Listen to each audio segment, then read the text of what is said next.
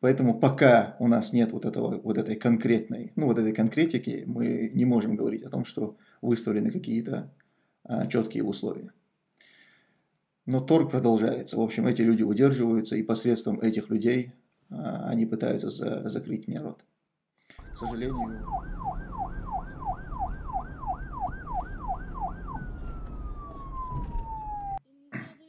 Салям алейкум. Тумсо, как относишься к рейдам Кадырова в Чечне из-за волка и надписи Борс? Ва алейкум ассалям. Ну, это очередное, видимо, обострение. Я читал об этом на Адате. А, ну, видимо, теперь любые проявления ичкеризма, назовем это так, да, какие-то симпатии к нашей независимости, по всей видимости, они теперь снова на, вышли на первый на первый план. Если до этого какие-то религиозные были темы, там, усы сбритые, подвернутые штанины, то сейчас снова, видимо, выходит вперед именно политическая тема, а не религиозная. А, начнем, наверное, с темы заложников, а, наших родственников, которых удерживает Кадыров в качестве заложников.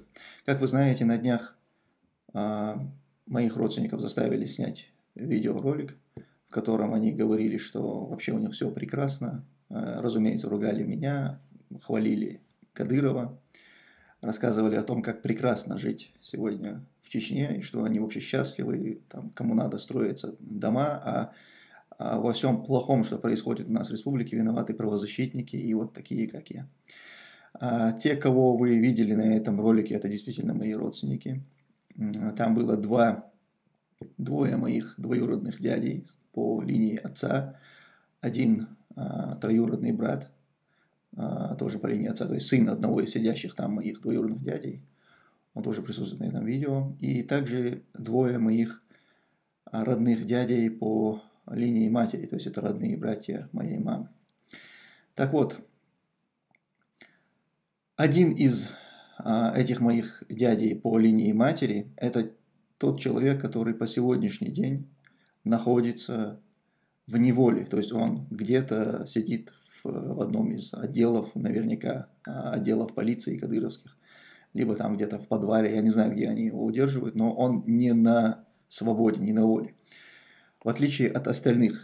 То есть остальные, присутствующие на этом видео, это те люди, которые были похищены в ночь на 22 декабря, и затем вот сразу, практически сразу, там через эм, чуть более суток их продержали и отпустили.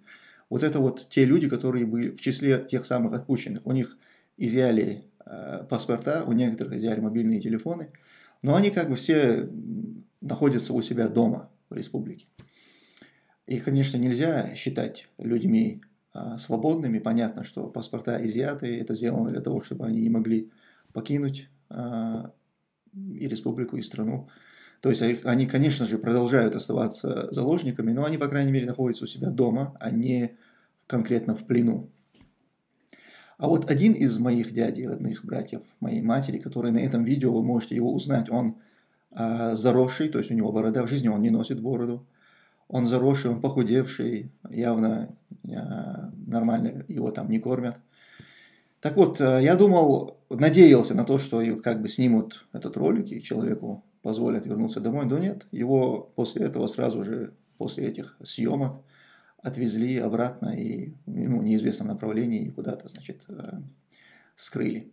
Поэтому из тех пяти человек, которые оставались в заложниках, а это конкретно моя а, двоюродная сестра Абдурахманова Тахмина, ее сын Абдурахманов Дени, а, мать моей жены Шаидова Рауза, сестра моей жены а, Асият Айбазова и мой дядя по матери, вот тот, который присутствует на этом видео, Саламбек Хасаров, эти пять человек, они продолжают находиться где-то в каких-то тюрьмах, подвалах, не знаю где. Но на свободу их не отпустили даже на какую-то условную. То есть так, чтобы можно было считать это домашним арестом, их не отпустили. Они до сих пор ими удерживаются в заложниках. Мне по различным каналам, не напрямую, естественно, не какими-то сообщениями в личку, а по различным каналам, через различных людей, мне передают различные э, условия, условия их э, якобы освобождения. я должен где-то записать какой-то ролик с извинениями, я должен прекратить свою деятельность, я не должен критиковать там этих или тех, я должен удалить канал и так далее. В общем, различные предложения мне поступают, а, но это не прямой какой-то разговор, то есть я не могу связать это точно с этими людьми, сказать, что да, действительно, возможно, вот, вот, вот эти условия, возможно, они реально исходят от конкретно вот этих людей. Поэтому пока у нас нет вот, этого, вот этой конкретной, ну вот этой конкретики, мы не можем говорить о том, что выставлены какие-то а, четкие условия. Но торг продолжается. В общем, эти люди удерживаются, и посредством этих людей а, они пытаются за, закрыть мне рот. К сожалению, молчание от каких-то международных институтов этого мира, которые могли бы повлиять на эту ситуацию, оно сохраняется. А, ООН, Европарламент и прочие международные серьезные авторитетные институты на эту тему молчат, хотя они могли бы реально повлиять на эту ситуацию. Как вы видели, когда международные правозащитники, Amnesty International, Human Rights Watch, Мемориал, Гражданское содействие и так далее, разные, в том числе и международные, да, они написали коллективное письмо на имя Путина, в этот же день была реакция, и министр, кадыровский министр по печати, информации, внешним связям, массовым коммуникациям, он записал целый ролик на эту тему, показал родственников Халитова, показал родственников Закаева, почему-то которых Закаев не, и не говорил о том, что их кто-то похищал в этот раз. Видимо, до кучи, просто чтобы а, сделать вид, что якобы ник, никто не похищен. Ну, то есть, была реакция письмо правозащитников Путину, моментальная реакция кадыровского министра. Соответственно, мы понимаем, что только так можно на это повлиять. И давить нужно на хозяина Кадырова, давить нужно на Путина, на Кремль. И это давление может сегодня как-то поспособствовать освобождению заложников наших родственников. Но, к сожалению, вот этого давления на Путина, на Кремль, этот мир сегодня не оказывает и как будто бы и не замечают, что в настоящее время в Чечне а, проходит, так, онлайн, можно сказать, проходит террористический акт. Там захватили заложников и посредством этих заложников пытаются воздействовать на а, блогеров, на активистов. По этому поводу мы провели митинг 8 января а, в Страсбурге перед зданием Совета Европы мы как раз требовали, чтобы Евро, Европарламент, Совет Европы, вообще международное сообщество, чтобы они как-то обратили на это внимание, то, что происходит. А, я выложу еще у себя в Патреоне, выложу фотографии, которые мы там сделали на этом митинге.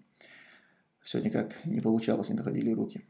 Но э, реакции какой-то на этот митинг пока еще не последовало. То есть мы пока этого не видим. Да, мы видим, что это освещается и в международной прессе, и во французской прессе в том числе.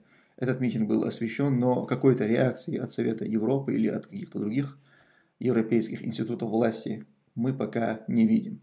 Я надеюсь, что мы ее все-таки увидим, пока, пока еще не начали открыто казнить наших родственников, по одному выводя их на площадь а, трех дураков по, по традиции, площадь дружбы народов, а, в народе более известна как площадь трех дураков.